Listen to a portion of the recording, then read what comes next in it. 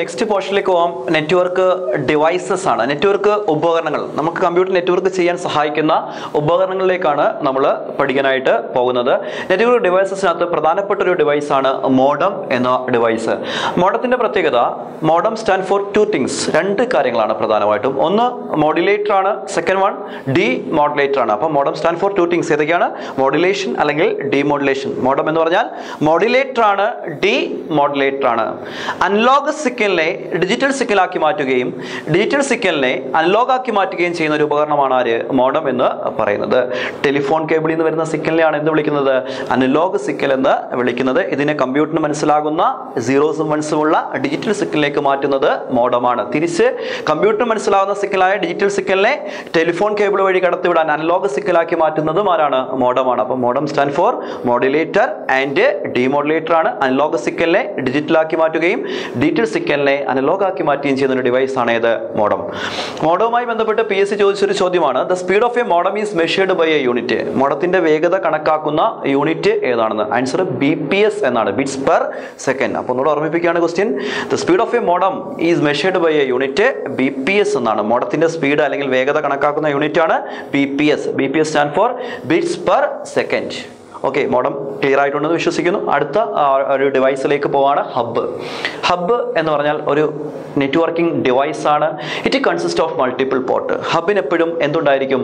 Multiple ports ഉണ്ടായിരിക്കും. ഒന്നിലധികം പോർട്ടുകളുള്ള ഒരു ഡിവൈസ് ആണ് ഏത് ഹബ്ബ് എന്ന് പറയുന്നത്. പിന്നെ packets service at one port ഏതെങ്കിലും ഒരു പോർട്ടിലേക്ക് ഒരു പാക്കറ്റ് വന്നു കഴിഞ്ഞാൽ it transmit to all other port ഹബിന്റെ ഏതെങ്കിലും ഒരു പോർട്ടിലേക്ക് ഒരു പാക്കറ്റ് വന്നു കഴിഞ്ഞാൽ ഹബ്ബ് അതിനെ മറ്റെല്ലാ പോർട്ടുകളിലേക്കും ആ പാക്കറ്റിനെ അങ്ങ് ട്രാൻസ്ഫർ ചെയ്യുന്നതായിരിക്കും. ഇന്റർനെറ്റിനകത്ത് വിവരങ്ങൾ കൈമാറുന്നത് ചില പാക്കറ്റുകളായിട്ടാണ് കൈമാറപ്പെടുന്നത്. ആ സമയത്ത് ഏതെങ്കിലും ഒരു പോർട്ടിലേക്ക് ഒരു പാക്കറ്റ് വന്നാൽ it transmit to all other port ഹബിന്റെ മറ്റൊരു പ്രത്യേകത hub is also known as concentrator അപ്പൊ കോൺസെൻട്രേറ്റർ എന്നറിയപ്പെടുന്ന നെറ്റ്വർക്കിംഗ് ഡിവൈസ് ആണ് ഏത്? ഹബ്ബ് എന്ന് പറയുന്നത്. ഹബ്ബ് ഒന്നുകൂടെ ഓർമ്മിപ്പിക്കുകയാണ്. Hub consist of multiple port ഹബിന് എപ്പോഴും മൾട്ടിപ്പിൾ പോർട്ട്സ് ആയിരിക്കും ഉണ്ടായിരിക്കുന്നത്. When when packet arrives at one port ഹബിന്റെ ഏതെങ്കിലും ഒരു പോർട്ടിലേക്ക് ഒരു പാക്കറ്റ് വന്നു കഴിഞ്ഞാൽ it transmit to all other port okay അടുത്തൊരു ഡിവൈസസിലേക്ക് പോവാം. അടുത്തൊരു ഡിവൈസ് ആണ് സ്വിച്ച് സ്വിച്ചിന്റെ പ്രത്യേകത switch is a intelligent device comparing to hub നമുക്ക് ഹബിനെ കമ്പയർ ചെയ്ത് തന്നെ പറയാം. Switch is a intelligent device it filter incoming packets ഈ വരുന്ന പാക്കറ്റിനെ ഫിൽട്ടർ ചെയ്തിട്ട് കറക്റ്റ് ഡെസ്റ്റിനേഷനിലേക്ക് എത്തിച്ചു കൊടുക്കുന്ന ഒരു ഡിവൈസിന്റെ പേരാണ് ഇത്. സ്വിച്ച് എന്ന് പറയുന്നത്. ഹബിന്റെ പ്രത്യേകത ഇത് കൺസിസ്റ്റ് ഓഫ് മൾട്ടിപ്പിൾ പോർട്ടാണ് ഈ വരുന്ന പാക്കറ്റുകളെ എല്ലാ പോർട്ടിലേക്കും ട്രാൻസ്മിറ്റ് ചെയ്യും. സ്വിച്ച് അങ്ങനെ ഒരിക്കലും എല്ലാ പോർട്ടിലേക്കും ട്രാൻസ്മിറ്റ് ചെയ്യത്തില്ല. കൃത്യമായിട്ട് എത്തിച്ചു കൊടുക്കേണ്ട പോർട്ടിലേക്ക് മാത്രമേ അതിനെ എത്തിച്ചു കൊടുക്കത്തുള്ളൂ. അതുകൊണ്ട് തന്നെ പറയാം സ്വിച്ച് ഒരു ഇന്റലിജന്റ് ഡിവൈസ് ആണ്. അടുത്ത ഡിവൈസിലേക്ക് പോവാം. ഡിവൈസിന്റെ പേര് ബ്രിഡ്ജ് എന്നാണ്. ബ്രിഡ്ജിന്റെ പ്രത്യേകത ഒരു നെറ്റ്വർക്കിന്റെ തന്നെ ഭാഗമായിട്ടുള്ള രണ്ട് സബ് നെറ്റ്വർക്കുകളെ തമ്മിൽ കണക്ട് ചെയ്യാൻ ഉപയോഗിക്കുന്ന ഡിവൈസ് ആണ് ഏത്? ബ്രിഡ്ജ് എന്ന് പറയുന്നത്. ഒരു നെറ്റ്വർക്കിന്റെ തന്നെ ഭാഗമായിട്ടുള്ള രണ്ട് സബ് നെറ്റ്വർക്കുകൾ ഒരു സ്ഥാപനത്തിന്റെ തന്നെ വിവിധ ഭാഗത്തുള്ള രണ്ട് നെറ്റ്വർക്കുകൾ. ഒരു വലിയ സ്ഥാപനം എടുക്കുക അങ്ങനെ ഒരു എക്സാമ്പിളിലേക്ക് പോവാം. ഒരു വലിയ സ്ഥാപനം എടുത്താൽ അവന്റെ പല സെക്ഷൻസ് ആയിട്ട് അല്ലെങ്കിൽ പല അക്കൗണ്ട് സെക്ഷൻ ഉണ്ടായിരിക്കും അല്ലെങ്കിൽ പബ്ലിക്കേഷൻ സെക്ഷൻ ഉണ്ടായിരിക്കും. അങ്ങനെ ഓരോ സെക്ഷനിലും ഡിഫറന്റ് ആയിട്ടുള്ള നെറ്റ്വർക്കുകൾ ഉണ്ടെങ്കിൽ അതിനെ തമ്മിൽ കണക്ട് ചെയ്യുന്ന ഒരു ഡിവൈസ് ആണ് ഇത് ബ്രിഡ്ജ് ബ്രിഡ്ജ് എന്ന് പറഞ്ഞാൽ സെയിം നെറ്റ്വർക്കിൽ തന്നെ ഭാഗമായിട്ടുള്ള രണ്ട് സബ് നെറ്റ്വർക്കുകളെ തമ്മിൽ കണക്ട് ചെയ്യുന്ന ഡിവൈസ് ആണ് ഇത് ബ്രിഡ്ജ് അപ്പം ആദ്യം പഠിച്ച ഡിവൈസ് മോഡമാണ് മോഡം മോഡുലേറ്ററും ഡിമോഡുലേറ്ററുമാണ് അൺലോഗിനെ ഡിജിറ്റലാക്കുകയും ഡിജിറ്റലിനെ അൺലോഗ് ആക്കി ചെയ്യുന്ന ഡിവൈസ് ആണ് ഇത് മോഡം മോഡത്തിന്റെ വേഗത കണക്കാക്കുന്ന യൂണിറ്റ് ബി പി എസ് ആണ്. തിരിച്ചു നമ്മൾ പറഞ്ഞത് ഹബ്ബാണ് ഹബിന് എപ്പോഴും മൾട്ടിപ്പിൾ പോർട്സ് ആയിരിക്കും ഉണ്ടായിരിക്കുന്നത്. പിന്നെ packet service set one port ഇത് transmit to all other port next one ആണ് സ്വിച്ച്. സ്വിച്ചിന്റെ പ്രത്യേകത സ്വിച്ച് ഒരു ഇന്റലിജന്റ് ഡിവൈസ് ആണ്. ഈ ഇൻകമിംഗ് പാക്കറ്റിനെ ഫിൽട്ടർ ചെയ്തതിന് ശേഷം മാത്രമേ സ്വിച്ച് ഫോർവേഡ് ചെയ്യത്തുള്ളൂ. നെക്സ്റ്റ് ഡിവൈസ് പഠിച്ചത് ആണ്. ബ്രിഡ്ജിന്റെ പ്രത്യേകത ഒരു നെറ്റ്വർക്കിന്റെ തന്നെ ഭാഗമായിട്ടുള്ള രണ്ട് സബ് നെറ്റ്വർക്കുകളെ തമ്മിൽ ലിങ്ക് ചെയ്യുന്ന ഒരു ഡിവൈസ് ആണ് ഇത് ബ്രിഡ്ജ് അടുത്ത ഡിവൈസ് ആണ് റൂട്ടർ റൂട്ടർ ഒരു നെറ്റ്വർക്കിംഗ് ഡിവൈസിനകത്ത് രണ്ട് ലാനുകളെ കണക്ട് ചെയ്യാൻ അല്ലെങ്കിൽ ഒരു ലാൻഡിനെയും ഒരു മാനിനെയും തമ്മിൽ കണക്ട് ചെയ്യാൻ അല്ലെങ്കിൽ ലാൻഡിനെയും വാനിനെയൊക്കെ തമ്മിൽ കണക്ട് ചെയ്യാൻ വേണ്ടി ഉപയോഗിക്കുന്ന നോർമലി ഉപയോഗിക്കുന്ന ഒരു ഡിവൈസ് ആണ് ഇത്. റൂട്ടർ എന്ന് പറയുന്നത്. നെറ്റ്വർക്ക് ട്രാഫിക്സിനെ കൺട്രോൾ ചെയ്യാനുള്ള കാപ്പബിലിറ്റി ഉള്ള ഒരു ഡിവൈസ് ആണ് ഇത്. റൂട്ടർ എന്ന ഡിവൈസ് റൂട്ടറുമായി ബന്ധപ്പെട്ട് ഉപയോഗിച്ച ഒരു പ്രോട്ടോകോൾ നേരത്തെ നമ്മൾ ഓൾറെഡി ഡിസ്കസ് ചെയ്തിട്ടുണ്ടായിരുന്നു. ആർ ഐ പി ആണ്. R I P stand for routing information protocol ആണ്. അപ്പം റൂട്ടർ എന്ന ഡിവൈസ് നെറ്റ്വർക്ക് ട്രാഫിക്സിനെ കൺട്രോൾ ചെയ്യുന്ന ചെയ്യുന്ന ഒരു ഡിവൈസ് കൂടിയാണ് ഇത് റൂട്ടർ എന്ന ഡിവൈസ് ഓക്കെ നമുക്ക് ഇനി റൂട്ടർ ക്ലിയർ ആയിട്ടുണ്ടെന്ന് വിശ്വസിക്കുന്നു. R I P stand for routing information protocol ആണ്. റൂട്ടറുമായി ബന്ധപ്പെട്ട് ഉപയോഗിക്കുന്ന പ്രോട്ടോക്കോൾ ആണ്. അടുത്തൊരു ഡിവൈസിലേക്ക് പോകാം. അടുത്തൊരു ഡിവൈസ് ആണ് റിപ്പീറ്റർ റിപ്പീറ്ററിന്റെ പ്രത്യേകത it receive weak signal weak സിഗ്നലിനെ റിസീവ് ചെയ്തിട്ട് ഹൈ പവറിൽ റീട്രാൻസ്മിറ്റ് ചെയ്യും.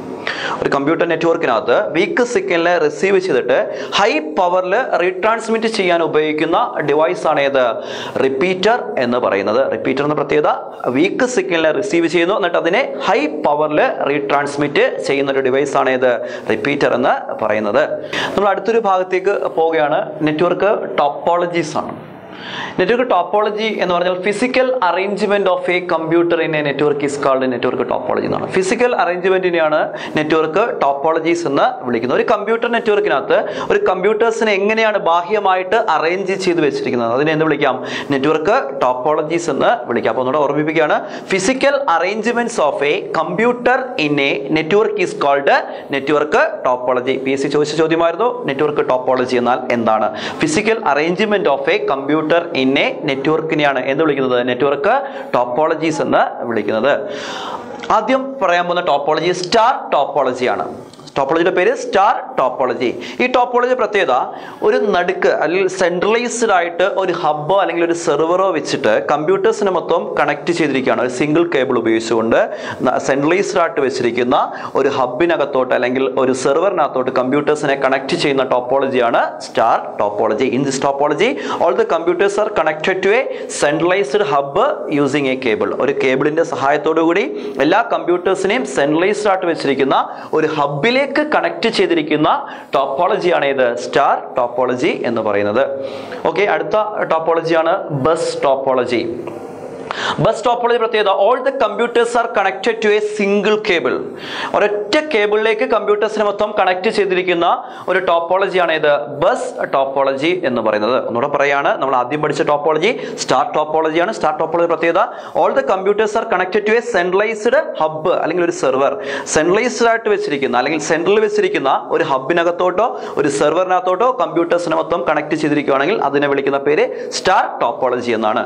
രണ്ടാമത് പഠിച്ച ടോപ്പോളജിയാണ് ബസ് ടോപ്പോളജി ഈ ബസ് ടോപ്പോളജി പ്രത്യേകത all the computers are connected to a single cable എല്ലാ കമ്പ്യൂട്ടേഴ്സിനെയും ഒരു സിംഗിൾ കേബിളിലേക്ക് കണക്ട് ചെയ്തിരിക്കുന്ന ടോപ്പോളജിയാണ് ഏത് ബസ് ടോപ്പോളജി എന്ന് പറയപ്പെടുന്നത്.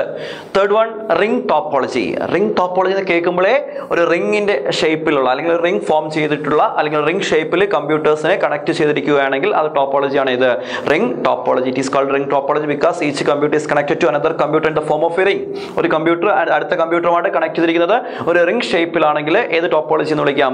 റിംഗ് ടോപ്പോളജി എന്ന് വിളിക്കാം. അപ്പോൾ ആദ്യം തിരിച്ചു വരുവാണ്. ആദ്യം പഠിച്ചത് സ്റ്റാർ ടോപ്പോളജിയാണ് കമ്പ്യൂട്ടേഴ്സിനെ എല്ലാ കമ്പ്യൂട്ടേഴ്സിനെയും സെൻട്രലൈസ്ഡ് ആയിട്ടുള്ള ഒരു ഹബിലേക്ക് കണക്ട് ചെയ്തിരിക്കുകയാണെങ്കിൽ അല്ലെങ്കിൽ സെർവറിലേക്ക് കണക്ട് ചെയ്തിരിക്കുകയാണെങ്കിൽ സ്റ്റാർ ടോപ്പോളജിയാണ് എല്ലാ കമ്പ്യൂട്ടേഴ്സിനെയും ഒരു കേബിളിലേക്ക് കണക്ട് ചെയ്തിരിക്കുകയാണെങ്കിൽ ബസ് ടോപ്പോളജിയാണ് എല്ലാ കമ്പ്യൂട്ടേഴ്സും കണക്ട് ചെയ്തിരിക്കുന്ന റിംഗ് ഷേപ്പിലാണെങ്കിൽ അതിനെ എന്ത് വിളിക്കാം? റിംഗ് ടോപ്പോളജി എന്ന് വിളിക്കാം.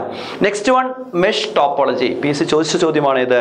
മെഷ് ടോപ്പോളജി ഈ ടോപ്പോളജി പ്രത്യേകത it is a point to point connection മറ്റുള്ള ടോപ്പോളജീസിനെ കമ്പയർ ചെയ്യുന്ന സമയത്ത് it is a point to point connection to other nodes or devices ഒരു നെറ്റ്വർക്കിനകത്തുള്ള നോട്ട്സുകൾ അല്ലെങ്കിൽ കമ്പ്യൂട്ടേഴ്സും ആ ഡിവൈസസും ഒക്കെ തമ്മിൽ ഡയറക്ട്ലി കണക്റ്റഡ് ആയിട്ടുള്ള ടോപ്പോളജിയാണ് ഇത്. Mesh topology in this topology all the computers are connected to each other എല്ലാ കമ്പ്യൂട്ടറുകളും അടുത്ത കമ്പ്യൂട്ടറുമായിട്ട് ഡയറക്ട്ലി കണക്റ്റഡ് ആയിട്ടുള്ള ടോപ്പോളജിയാണ് ഇത്. മെഷ് ടോപ്പോളജി എന്ന് പറയുന്നത്. എല്ലാ കമ്പ്യൂട്ടറുകളും അടുത്ത കമ്പ്യൂട്ടറുമായിട്ട് ഡയറക്ട്ലി കണക്റ്റഡ് ആയിട്ടുള്ള ടോപ്പോളജിയാണ് മെഷ് ടോപ്പോളജി എങ്കിൽ അടുത്ത ഒരു ടോപ്പോളജിയിലേക്ക് പോവുകയാണ്.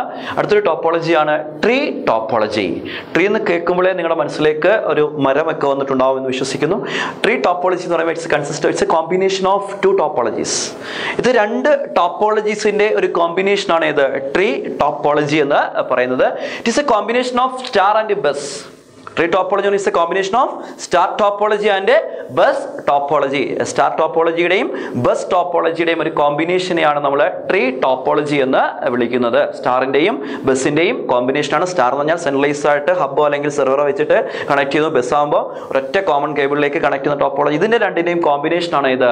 Tree topology it's a combination of one or more topology ഏതൊക്കെയാണ്? സ്റ്റാറും ബസ്സും it is a hybrid topology tree topology എന്താണ്? ഒരു ഹൈബ്രിഡ് ടോപ്പോളജിയാണ് അങ്ങനെ വിളിക്കാൻ കാരണം it is a combination of one or more topology ആയതുകൊണ്ടാണ്. ഇന്നത്തെ ക്ലാസ് എല്ലാവർക്കും വ്യക്തമായി എന്ന് വിശ്വസിക്കുന്നു. കൂടുതൽ ക്ലാസ്സുകൾക്കായി ഈ യൂട്യൂബ് ചാനൽ സബ്സ്ക്രൈബ് ചെയ്യുക. നോട്ടിഫിക്കേഷന് വേണ്ടി താഴെയുള്ള ബെല്ലൈക്കൺ ക്ലിക്ക് ചെയ്യാൻ മറക്കരുത്. താങ്ക്